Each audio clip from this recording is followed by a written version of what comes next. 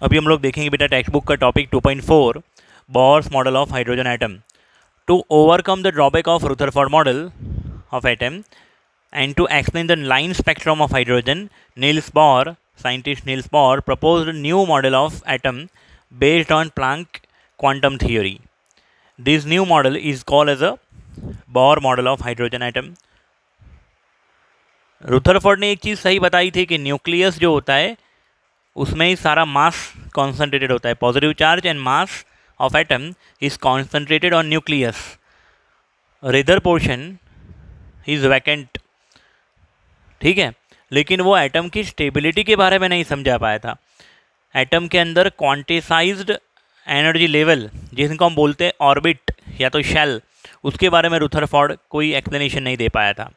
जिसके बारे में कुछ अच्छी तरह से एक्सप्लेनेशन दिया नील्स बॉर ने।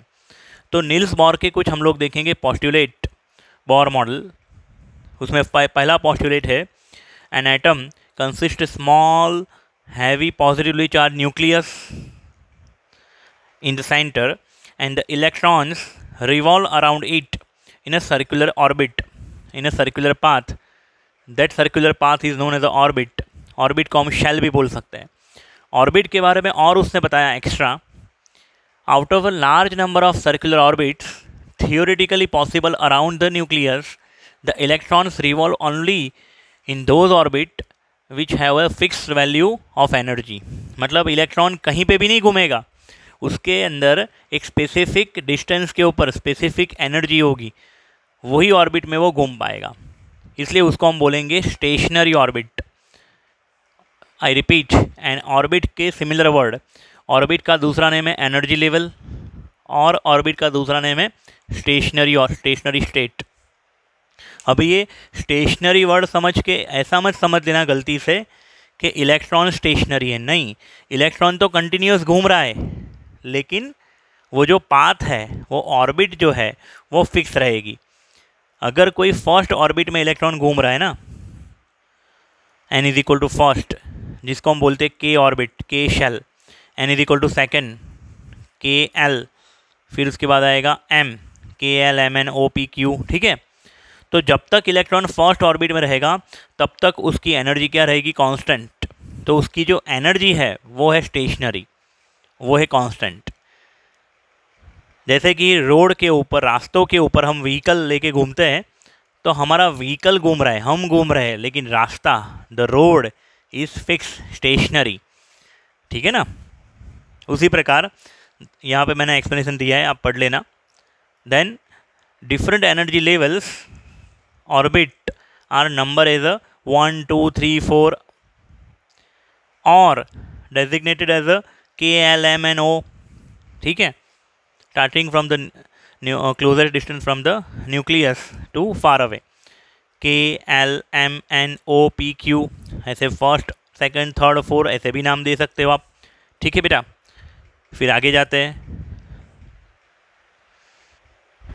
नील्स बॉर ने आगे ये समझाया, the energy of different stationary orbit, stationary state of species containing one electron, like hydrogen, helium plus one, lithium plus two etcetera are given by following expression E n is equal to minus two e raise to four pi square Z square m e upon n square h square first second, third, four, यानी कि n, यानी क्या है?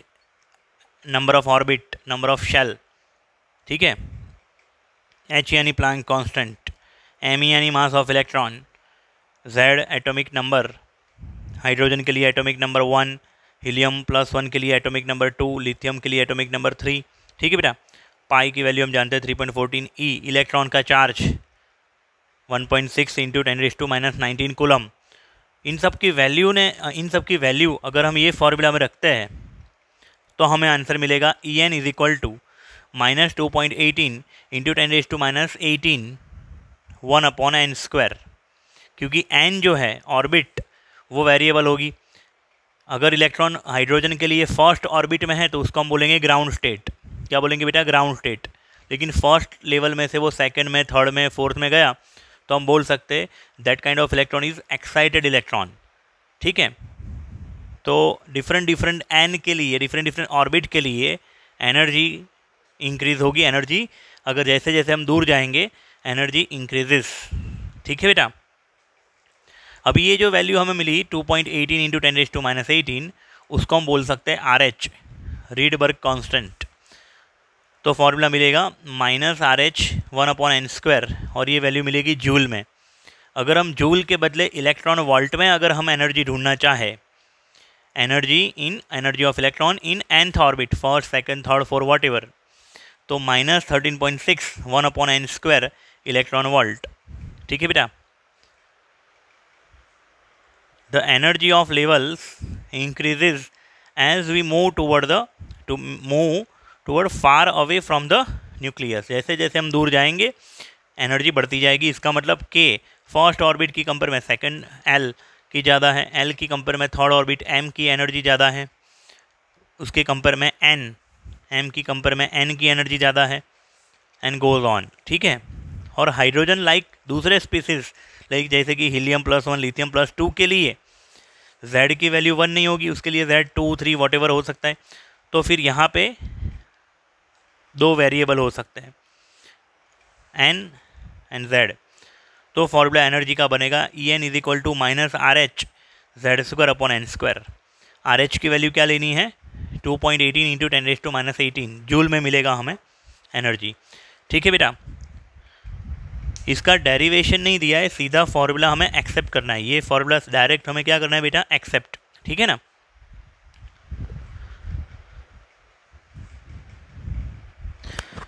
अगर हम बात करें वो फार्मूला जिसके ऊपर से हम एनर्जी ढूंढ सकते थे energy of nth orbit is equal to for hydrogen atom minus R H into one upon n square joule के अंदर, ठीक है? यहाँ पे हमें आर एच की वैल्यू क्या लेनी है?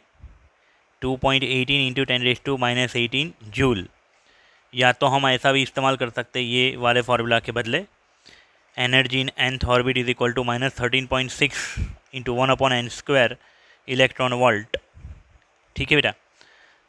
अगर हम यहाँ पे एन की वैल्यू पुट करें, अगर हम एन की वैल्यू वन ये वाले फॉर्मूला में पुट करेंगे तो क्या बनेगा आंसर माइनस आर एच हो जाएगा ना? One upon one square one हो जाएगा।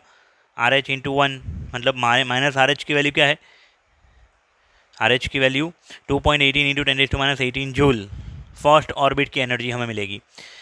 और उसको इलेक्ट्रॉन वोल्ट में अगर कन्वर्ट करना चाहे तो होगा 13.6 minus thirteen point six electron volt. Second orbit की अगर एनर्जी देखें तो माइनस ज़ीरो, यही फॉर्मूला में हम टू रख दें तो वन अपॉन टू स्क्वायर, यानी कि R H minus R H by four तो value goes in second orbit, energy of second orbit is equal to minus zero point five four five into ten minus eighteen joule. अगर electron volt में हम ढूंढें, minus three point four electron volt third orbit के लिए minus zero point two four two into ten is minus eighteen joule या तो minus one point five one into minus one point five one electron volt ठीक है बेटा? तो जैसे जैसे आप फ़र्स्ट सेकंड थर्ड न्यूक्लियस से फार अवे जब जैसे जैसे जाते हो, वैसे वैसे आप एनर्जी की वैल्यू देखो, बढ़ती जा रही है। माइनस थर्टीन पॉइंट सिक्स से माइनस थ्री पॉइंट फोर बड़ी वैल्यू है। माइनस थ्री पॉइंट फोर की कंपेयर में minus one point five one बड़ी वैल्यू है। इसकी कंपेयर में एटी फाइव वोल्ट बड़ी तो as you go far away from the nucleus energy of electron increases as well as distance भी आप देखिए। यहाँ पे मैंने न्यूक्लियस ड्रॉ किया था, ठीक है? न्यूक्लियस से जो डिस्टेंस फ़र्स्ट ऑर्बिट का है, उतना ही डिस्टेंस सेकेंड ऑर्बिट का नहीं है, देखो। सेकेंड ऑर्बिट थोड़ी करीब है थर्ड ऑर्बिट उससे थोड़ी करीब है। तो यहाँ पे मैंने क्या लिखा है? It may be noted that energy gaps between successive level go on go on decreases decreasing as we move outward जैसे जैसे हम दूर की ओर जा रहे हैं, वैसे वैसे ऑर्बिट का जो डिस्टेंस है, वो कम होता जा रहा है। समझ में आ रहा है बेटा?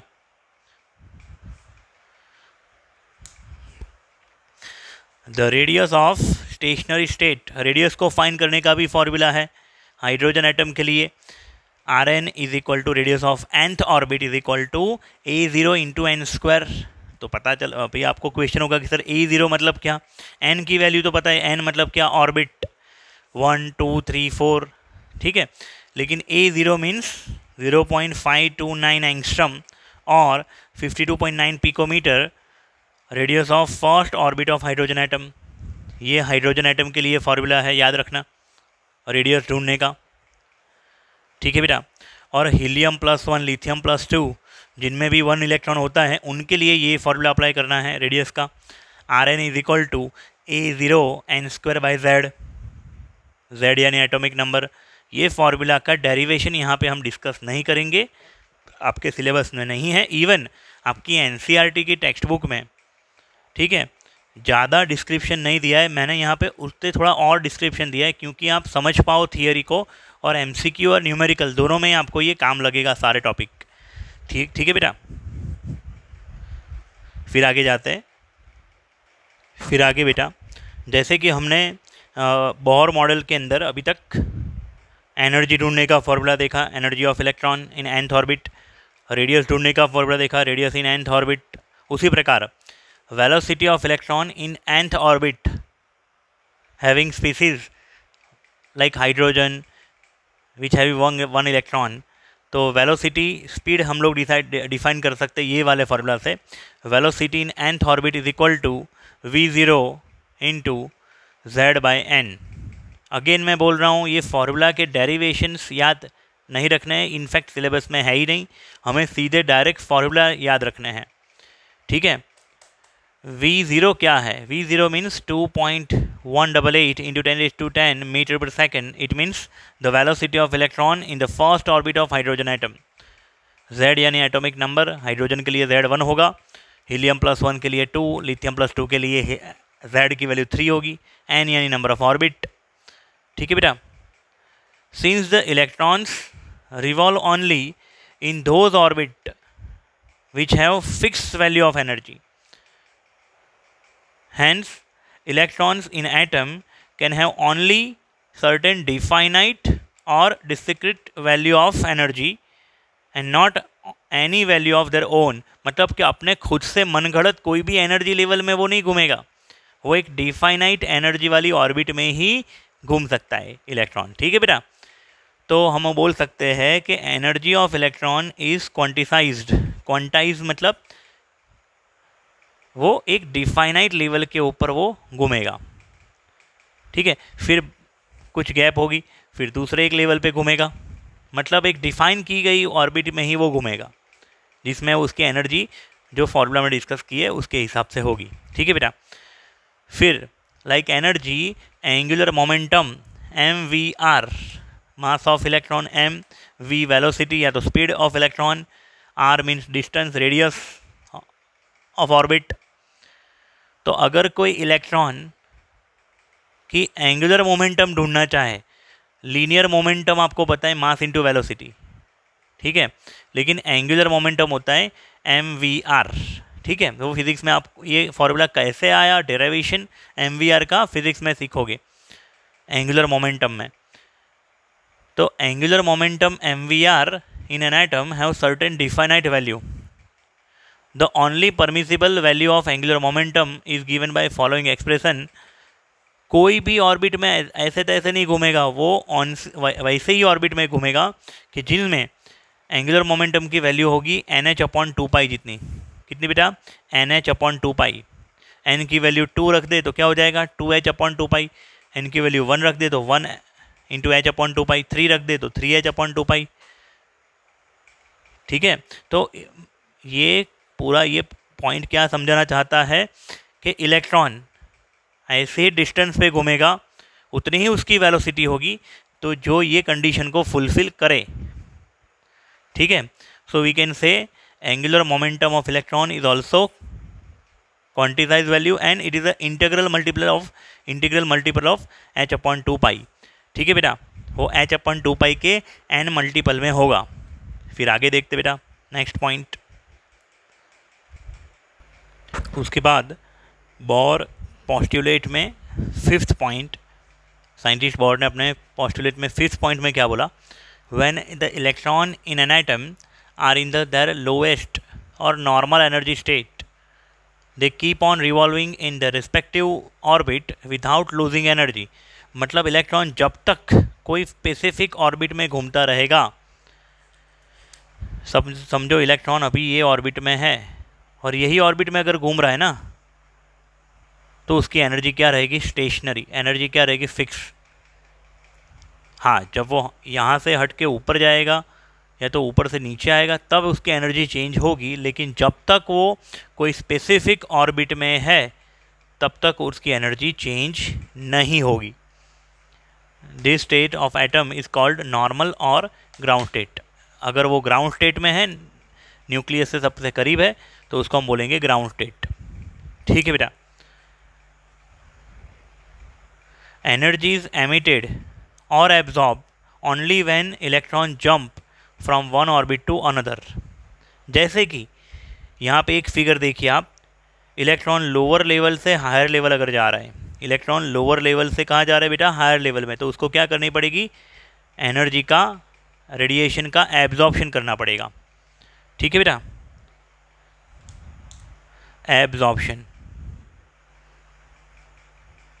absorption of radiation of frequency nu यहाँ पे लिखा है क्या बेटा मैंने देखिए energy is absorbed when an electron jump from a lower level to higher level कोई भी लोअर लेवल से हायर लेवल में जाएगा तो उसको एनर्जी का क्या करना पड़ेगा? एब्जॉर्प्शन ठीक है? लेकिन उससे उल्टा रिवर्स कि अगर वो हायर लेवल में से लोअर लेवल में आ रहा है ना तो उसको एनर्जी का क्या करना पड़ेगा? एमिशन ठीक है बेटा? Energy is emitted when an electron jump from a higher level to lower level ठीक है? फिर ये जो कोई भी दो सक्सेसिव ऑर्बिट कोई भी दो ऑर्बिट के बीच का अगर हमें एनर्जी का डिफरेंस ढूंढना है तो उसको बोलते हैं delta E difference of energy delta E is equal to E two minus E one और delta E is equal to E F minus E I E F means energy in final orbit E I means energy of initial orbit delta E is positive delta is greater than zero when process is exothermic. In our case, when absorption take place absorption of energy absorption of energy कब होगा? जब electron lower to hire जाएगा तो energy का क्या होगा? Absorption तब delta ई की वैल्यू क्या आएगी? प्लस आएगी. लेकिन डेल्टा ई माइनस आएगा एक्जोथर्मिक प्रोसेस जैसे कि एमिशन यहाँ पे जब एनर्जी का एमिशन होगा यानी कि हायर लेवल में से जब लोअर लेवल में जाएगा तो डेल्टा ई माइनस आएगा। ठीक है, याद रखना बेटा ये। तो ये पूरा, पूरे सिक्स पॉस्टुलेट आप लर्न कर दीजिए, लिख दीजिए। फिर मिलते हैं अगले वीडियो में नेक्स्ट इसी के साथ जुड़ी हुई थियोरी और न्यूमेरिकल्स ठीक है बच्चों?